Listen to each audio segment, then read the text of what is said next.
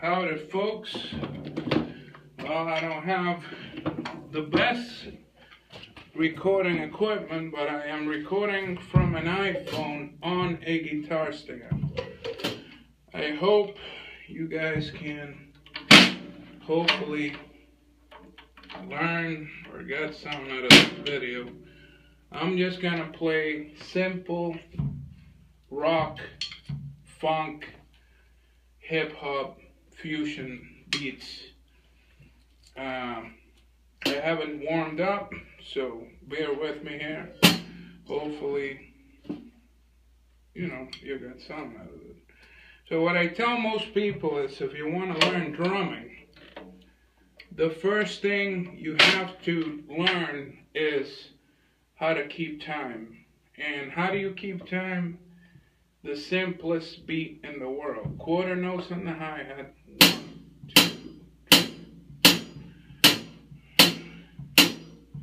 Kick drum, which in drum world we call one, uh, one and uh, two and uh, three and uh, four and uh, ready.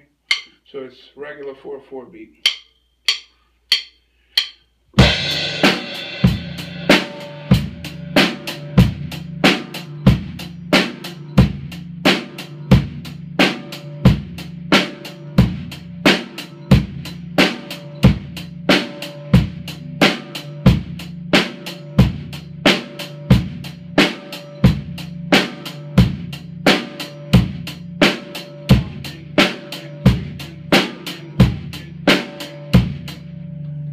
See what I'm saying?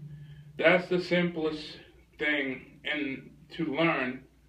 Once you learn that, you just keep adding to that. But I'm not here to teach you about that. I'm just gonna play a few examples of just funk, rock, and fusion. Ready? Starting with that simple beat.